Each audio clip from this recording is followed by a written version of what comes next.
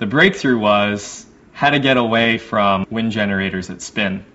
Everyone up till now has been trying to shrink turbines. I first started thinking about this in middle school and first saw the Tacoma Narrows Bridge collapse. It's the bridge that starts to shake and wobble. The effect is known as aeroelastic flutter. You can think of it kind of like the bow of a musical instrument, the bow of a violin. When air blows across the surface, it starts to vibrate with the wind at a pretty high frequency. So this is the first approach that uses flutter.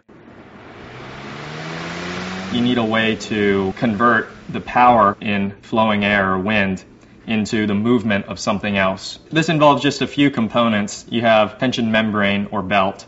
Think of this kind of as a flexible lever. The second thing you need is a way to convert that motion into electricity. That leverage moves this button magnet. We've designed some very simple, cost a quarter kind of power conditioning units. There's nothing really too special about the material. Mylar coated taffeta. This is actually a kite making material. There's enough here for hundreds of wind belts.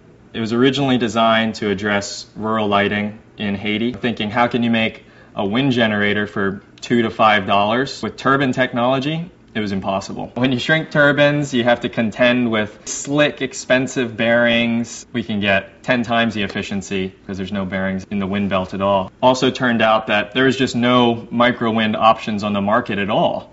Imagine if wind power is 10 times cheaper than it is now. You can imagine a totally different way of looking at macro size wind power. Strips of material that span a gap, you know, a valley, just have those under a high tension and you can call the energy out of the wind. Harder problems make for better inventions. Those problems force you to think in a new way and can yield new inventions that can serve the whole world, not just developing countries. London is cold.